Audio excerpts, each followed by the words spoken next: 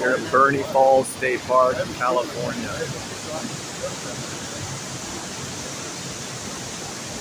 Unreal.